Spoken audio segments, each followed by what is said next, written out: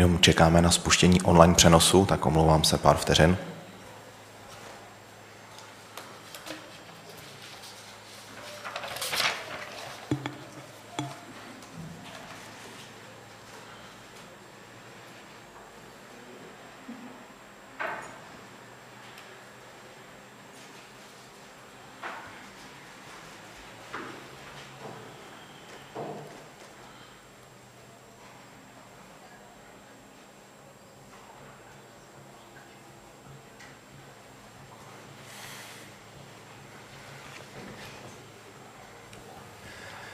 Dámy a pánové, přeji vám hezké poledne. Vítám vás na tradiční pondělní tiskové konferenci po jednání Rady hlavního města Prahy. Dnešními řečníky, které tady současně vítám, jsou pan primátor Zdeněk Hřib. Dobrý den. Dobrý den. Pan radní Jan Chabr. Dobrý, Dobrý den. den. Paní radní Hana Třeštíková. Dobrý den. Dobrý den. A také pan generální ředitel městské společnosti operátor ICT Tomáš Barci. I vám dobrý den. Dobrý den. Na úvod předávám slovo panu primátorovi Hřibovi. Děkuji. My jsme dnes na Radě hlavního města schválili eh, několik tisků, které se týkají IT. Já bych z nich eh, vypíchnul dva, které zřizují takzvaná kompetenční centra. Jednak tedy kompetenční centrum pro EKIS, tedy ekonomický informační systém a eh, pro elektronickou spisovou službu. Jedná se o zásadní informační systémy, na kterých vlastně běží to jádro činností, které provozuje magistrát a tedy jde o mm, informační systémy zcela klíčové pro provoz magistrátu a města jako takového. Bohužel postupem času se stal magistrát na těchto informačních systémech natolik závislých, že vlastně nebyl schopný plnit ani jakousi roli partnera vůči těm dodavatelům nebo dodavateli, což znamená, že ta závislost byla opravdu velmi vysoká. Protože chceme do budoucna snížit tu závislost na vybraných dodavatelích IT systémů, které jsou klíčové pro provoz magistrátu, tak a do budoucna tím ušetřit i desítky milionů korun ročně, tak vytváříme kompetenční centra, tak abychom získali možnost tedy sestavit konzolidovaný tým IT specialistů a vlastně přebrali to know-how a část těch činností jsme si mohli dělat přímo sami nebo aspoň měli lepší vyjednávací pozici s těmi dodavateli. Tomuhle účelu jsme teda zřídili dvě kompetenční centra. Dneškem ty kompetenční centra budou zřízeny v městské společnosti operátor ICT, to znamená, je to nastavené tak, aby skutečně to know-how už do budoucna získávalo ve městě. Kompetenční centra tedy budou dvě, jedno bude cílit na ten ekonomický informační systém a elektronickou spisovou službu a ta, to druhé kompetenční centrum bude cílit na vlastně digitalizaci vnitřní magistrátu, zejména co se týče takových klasických formulářových podání, jejich automatizace, jejich vyřízení, nebo chcete-li robotizace toho zpracování, takže oba dva ty kroky vlastně směřují stejným směrem a to je naplňování té anti-vendor lock-in strategie, kterou jsme si už dříve schválili na Radě. To je tedy první záležitost. Druhá věc z oblasti IT, která si myslím, že stojí za zmínku, je, že na webu pomocukrajině.praha.eu, už to běží za mnou, je tedy nově zřízený pražský chatbot pro uprchlíky, který s nimi dokáže komunikovat. I v Ukrajině jsme vlastně první město v Evropě, které něco takového implementovalo do svých komunikačních kanálů. Ten chatbot vznikl za pomoci překladatelů z ukrajinského jazyka, kteří na projektu pracovali zdarma, takže díky tomu se pohybujeme na nákladech, které pokrývají jenom náklady na hosting a licence. Ta cena je 30 000 korun bez DPH a je to tedy chatbot s tou základní strukturou okruhů nebo životních situací, které, uprchlíky, které uprchlíci z Ukrajiny při vstupu do České republiky řeší. Je to tedy takový automatický živý chat, který vytváří dojem, že se bavíte s nějakou osobou na druhém konci drátu, ale ta osoba tam vlastně nesedí. Je to nějaký automat, který vám odpovídá na ty dotazy a tím šetří kapacity jak úředníků nebo i zaměstnanců složek integrovaného záchranného systému, tak i případně dobrovolníků. Z těch aktuálních dat chatbota nám vyplývá, že tedy 80% otevření chatbota je v ukrajinském jazyce a díky optimalizaci aktuálně zhruba polovina otevření z mobilních zařízení.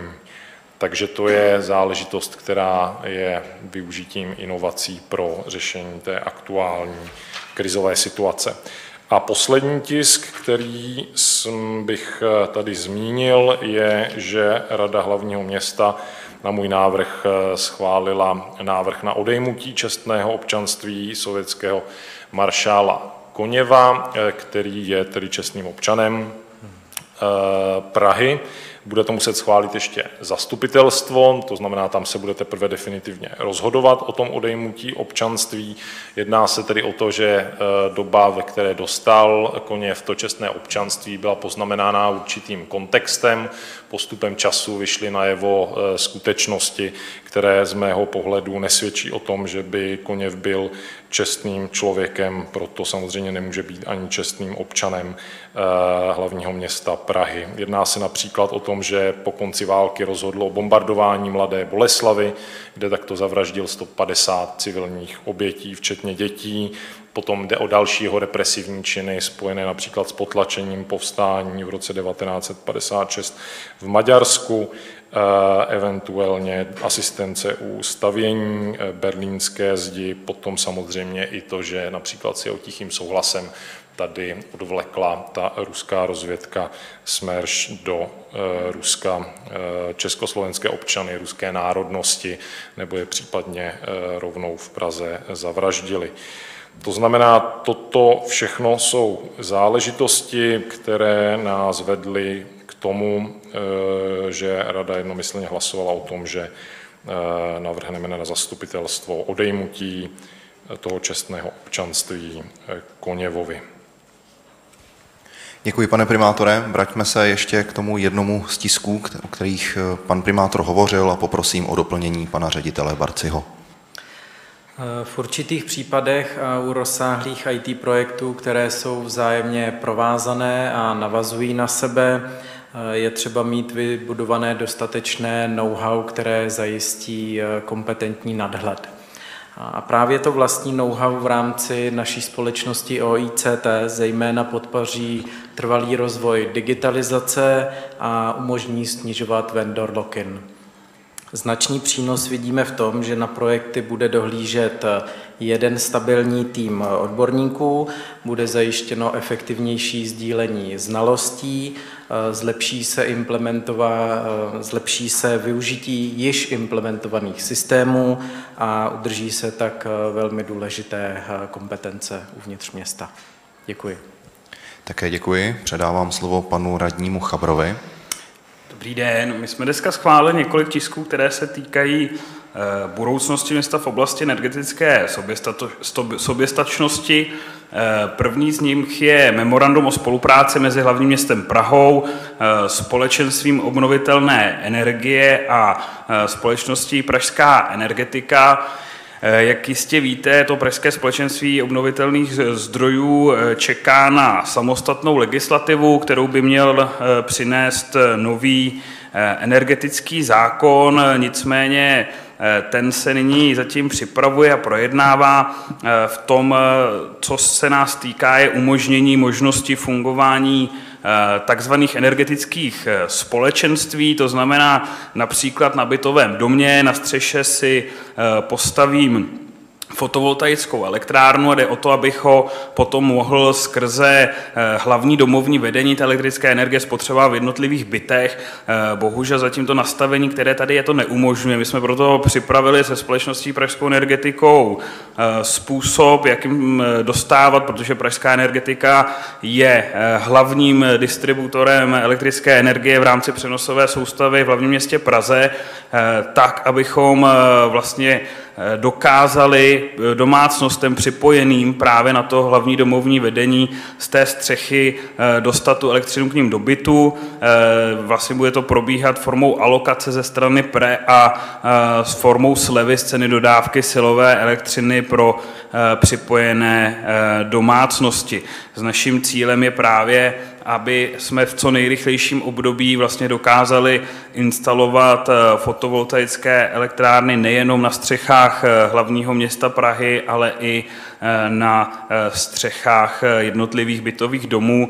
Ten cíl je mít společný celkový instalovaný výkon za vlastně v jedné megavatě píku, to znamená jít co nejrychlejší cestou, protože to není jenom o tom, že snižujeme emisní stopu města, ale eh, zvyšujeme i energetickou soběstačnost a energetickou bezpečnost města, eh, což je vlastně v dnešní době jedno z hlavních eh, témat. S tím souvisí i další tisk, který jsme dneska schválili. Předkládali jsme společně s panem náměstkem Hlubučkem a je to dohoda o spolupráci mezi hlavním městem Prahou, Pražským společenstvím obnovitelné energie a technologiemi hlavního města Prahy jak jistě víte, společnost technologie hlavního města Prahy eh, je již na trhu čtyři roky a má eh, celou řadu předností a jedna z nich je právě to, eh, že máme, ta dohoda vlastně říká, že je společný zájem dočených účastníků, znamená hlavního města Prahy a Pražského společenství obnovitelných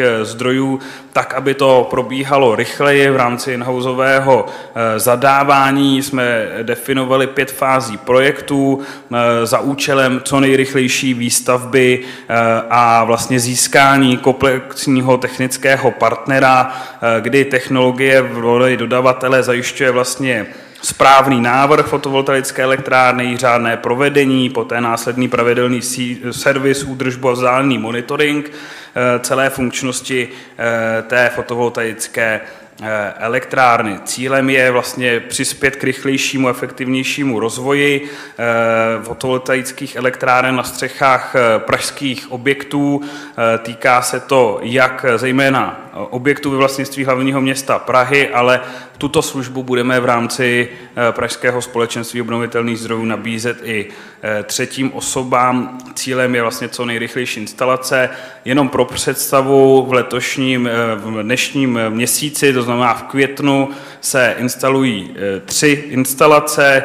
E, jedná se o bytový objekt Arnošta Valenty, Karla Hlaváčka, e, kde v objektech Karla Hlaváčka se realizují dvě samostatné realizace.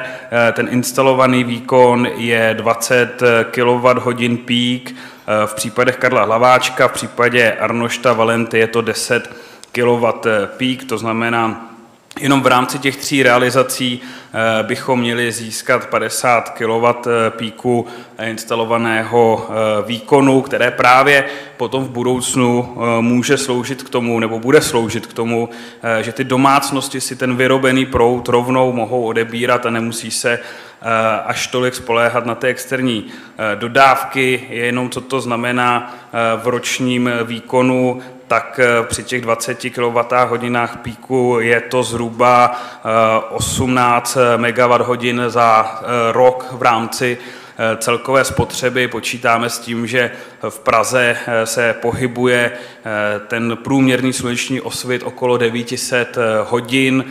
Když si vezmete, že průměrný pražský byt má spotřebu, závisí, co všecko má připojeno na elektřinu a závisí na to, jaké energetické spotřebiče používá, ale pohybuje se v oblasti jedné až dvou megawatt hodin, tak v rámci těch instalací se dá pokrýt v budoucnu velká část potřeby všech těch bytů v rámci daného objektu. Potom ještě jsem předkládal dneska tisky za pana náměstka Hlubučka, jsme i přijali eh, další adaptační opatření na realizaci energetických úspor. Ty se tedy netýkají pouze instalace fotovoltaických elektráren, ale eh, týkají se eh, rekonstrukce kotelny a vlastně snížení té energetické závislosti v gymnáziu a hudební škole hlavního města Prahy základní umělecké školy, kde se jedná o výměnu technologií za zhruba 10 milionů korun a potom celkovou rekonstrukci osvětlení učeben, kde jsou stará zářivková svítidla. Opět se zde jedná o kompletní revizi a proměnu těch vnitřních elektroinstalací, a výměnu LED svítidel za nová zhruba za 4 miliony korun a je to v objektu základní školy pro o, o žáky s poruchami zraku. Děkuji. Předávám slovo dále paní radní Třeštíkové. Děkuji za slovo. Teď určitě tisk, na který všichni netrpělivě čekáte. Eh, Rada eh, dnešním hlasováním schválila vyhlášení programu podpory v oblasti kultury a umění eh, na rok 2023 pro jednoleté dotace a pro víceleté dotace na léta 2024 až 2027. Jedná se tedy o tradiční program, který hlavní město Praha vypisuje každý rok. Letos se nám podařilo ho vyhlásit dřív než v minulých letech, kdy tedy výzva bude vyvěšena do poloviny června a příjem žádostí budeme, spustíme od 15. června do 29. června, to je tedy uzávěrka. Pro eh, příští rok eh, jsme obohatili tento program o nové opatření, který nazýváme profilové festivaly, kdy eh, žadatel může zažádat o víceletou dotací, dotaci s minimální žádanou částkou od 500 tisíc a jsou tam podmínky, kdy žadatel musí splňovat minimální náštěvnost 5 tisíc platících diváků za rok, minimální délka trvání tři dny a náklady na projekt v minimální výši 10 milionů korun. Eh, ta částka, kterou jsme vyjednali s, eh, s náměstkem Vyhnánkem a s rozpočtem je 380 milionů korun, kdy tedy část toho je eh, vázáno již rozhodnutím komise z minulých let na, pro víceleté žádosti a na příští rok pro jednoleté je přibližně 120 milionů korun. Je to více než v minulých letech. Snažili jsme se akcentovat nebo vnímat situaci nejenom tedy složitou po covidovu, ale také samozřejmě ohledně inflace a zvyšování nákladů, tak tedy toto je naše snaha kulturnímu sektoru v příštích letech pomoct. Děkuji. Otevírám prostor pro novinářské dotazy. Česká televize. Dobrý den, Zuzana Směšková, Česká televize. Eh, já bych se ještě vrátila k tomu tisku eh, o odejmutí čestného občanství maršála Koněva. Eh, mě by zajímalo, jak moc jednotné bylo to rozhodnutí rady a další věc, jaký očekáváte další postup v souvislosti s hlasováním na zastupitelstvu, jakou podporu by tam ten návrh mohl mít. Děkuju. Děkuji. Eh, jak jsem zmiňoval, to hlasování bylo jednomyslné. Eh, co se týče otázky hlasování na zastupitelstvu, to je samozřejmě otázka na každého zastupitele zvlášť. Eh, já si myslím, že by to mohlo získat i podporu ze strany opozice.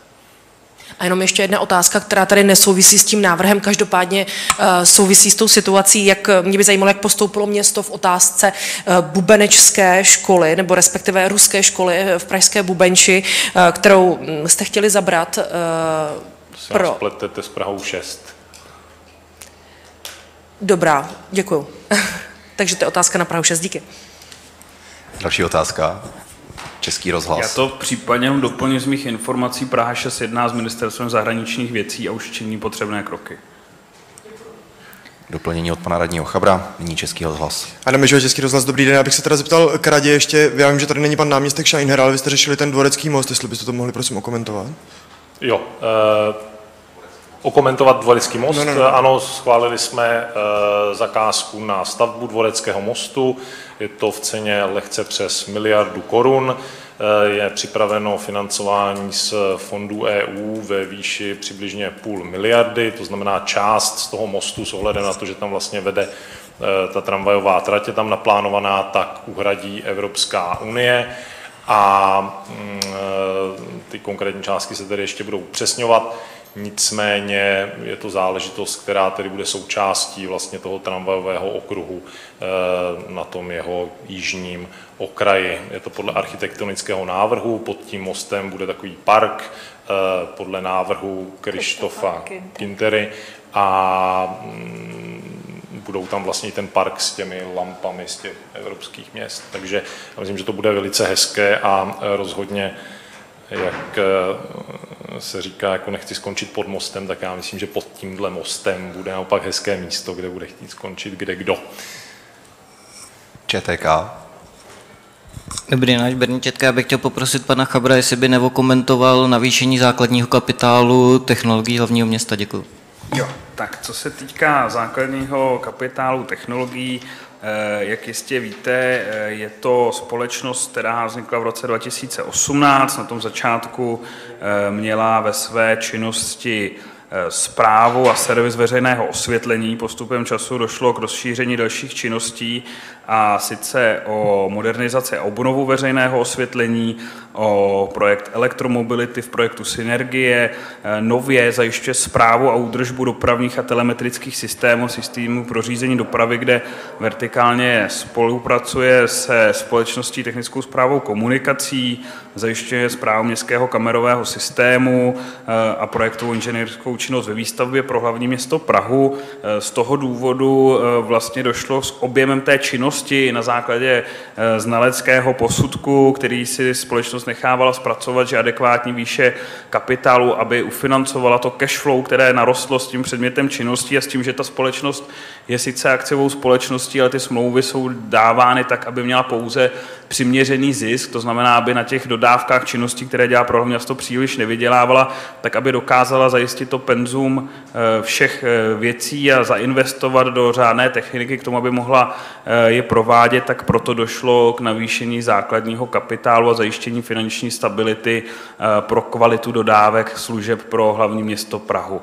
A ta částka se vlastně čerpala z rozpočtové kapitoly vlastně z výnosů z loňského roku, které město získalo z dividend z jiných městských společností. To znamená, nepoužila se k tomu eh, rozpočtová rezerva, je tam eh, zachován ten smysl toho, když ten městský majetek něco vydělá, respektive městské společnosti, tak aby se to případně i refinancovalo eh, do rozvoje jiných městských společností. Další otázka.